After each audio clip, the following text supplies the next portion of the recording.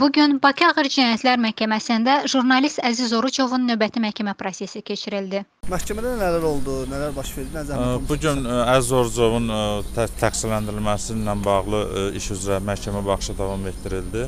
3 nəfər şahid dindirildi və həmin şahidlər də bildirdilər ki, Əziz Orucovun ə, heç bir günahı yoxdur və hər hansı bir ittiham edici ifadə ver ifadə vermədilər.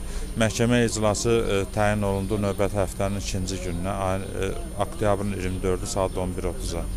Əziz Oğuzov özü məhkəmədə iştirak etdi və nələr nələr dedi? Əz Əz Orcov da şah- şahidlərin dediyini təsdiq etdi və ümumiyyətlə o Qafqaz Media Tədqiqatları ə, Mərkəzinə heç bir rəhbərlik etmədiyini bildirdi. Kanal oyunuşla bağlı Ədliyyə Nazirliyindən qeydiyyatdan keçdiyini və həmin brendi brendin ona məxsus olduğunu, vergiləri öz beynindən daimi ödədiyini bildirdi. Səhhəti necədir? Özünü necə hiss eləyir? Səhhəti normaldır hazırda.